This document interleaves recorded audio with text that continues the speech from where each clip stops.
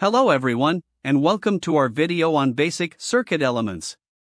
In this video, we will be exploring some of the essential components that form the building blocks of electrical circuits. Understanding these components is crucial for anyone interested in electronics and circuit design. So, let's dive right in. 1. Resistor. Let's start with the resistor. A resistor is a passive two terminal component that restricts the flow of electric current. It is represented by a zigzag line symbol in circuit diagrams. Resistor values are measured in ohms, and they are commonly used to control current, voltage, and power levels within a circuit.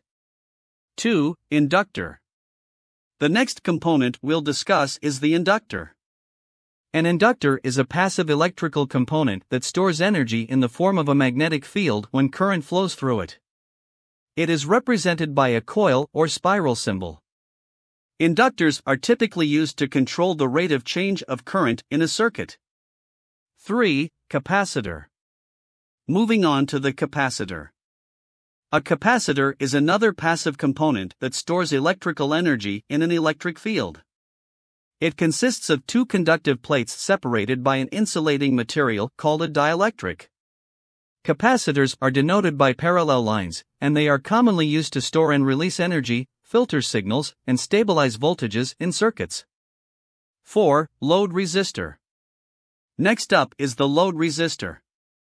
A load resistor, as the name suggests, is a resistor that is connected to the output of a circuit or device. It represents the load or the external device that the circuit is driving. The load resistor helps simulate real world conditions and ensures proper functioning of the circuit. 5. Variable resistor. Now let's talk about the variable resistor. Also known as a potentiometer or rheostat, a variable resistor allows for the adjustment of resistance within a circuit. It is denoted by a resistor symbol with an arrow or a curved line. Variable resistors are commonly used for volume controls, dimmer switches, and other applications where variable resistance is required. 6. Battery. Moving on to the battery, it is a source of electrical energy in a circuit. It provides a potential difference or voltage across the circuit, which drives the flow of current. Battery symbols typically consist of long and short parallel lines representing the positive and negative terminals, respectively. 7. Variable capacitor. Now let's look at the variable capacitor. A variable capacitor, also known as a trimmer capacitor, is a capacitor whose capacitance can be adjusted manually or electronically. It is denoted by two parallel lines with an arrow or a curved line. Variable capacitors are often used in tuning circuits, filters, and frequency dependent applications. 8. Sinusoidal voltage source, AC voltage. Next, we have the sinusoidal voltage source, which represents an alternating current, AC voltage.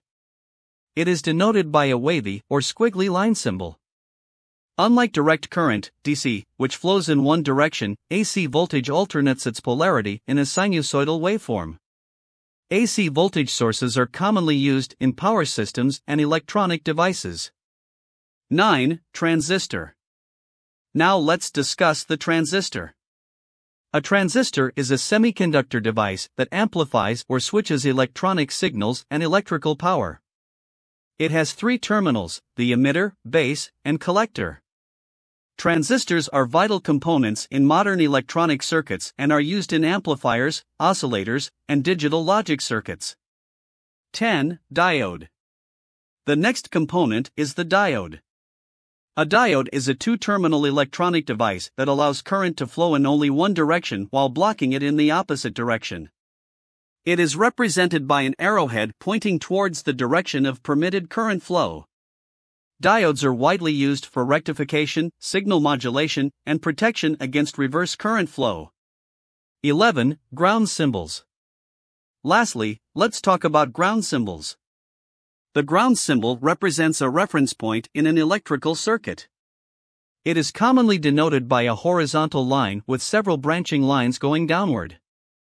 The ground serves as a common reference potential for voltage measurements and is often connected to the negative terminal of a power supply or the earth itself.